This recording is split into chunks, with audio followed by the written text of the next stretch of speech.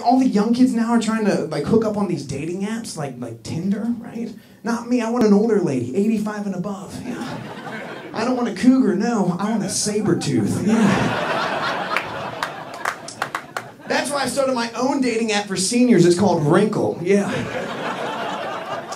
It's the only dating app available on the Life Alert bracelet. Okay. Our slogan is "Help! I've fallen in love." We've also not we also got another slogan for rich granddaddies that want a younger lady. It's wrinkle. When there's a will, there's a way. well, thank you.